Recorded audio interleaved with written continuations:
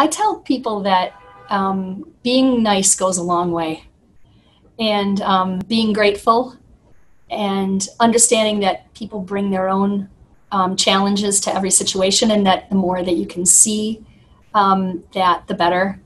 Um, but I think f- for me, one of the things that is really important is that you you balance sort of that execution and that accountability with people really understanding that you are you care about them you are on the same team um, you are willing to collaborate but um, you know you can have optimism and you can be enthusiastic but you have to be results oriented and um, i think especially in nursing leadership it's really important to impart that because most nurses go into nursing it's very it's a very personal job you, you make these very beautiful and intimate relationships with patients. And um, that's where you get your positive reinforcement is is on that one to one and when people become a nurse leader they lose that. And that is a, that's they have to grieve that and get their um, get those great feelings from being able to inspire nurses to give that care. And then you see your broader impact and it's that's rewarding.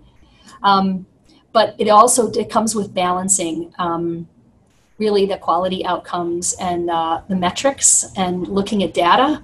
And um, that's not necessarily exactly in the nurse's wheelhouse. So when you're working with nursing leaders that's like a really important piece. So i think what that's what i would say to, to people who are thinking about it like bring your whole self bring your best self to work be upbeat be hopeful and um, but remember that it, it, you have to marry it with um, with outcomes. Because that's what you're that's the most important thing in healthcare. You are caring for people and they are counting on you.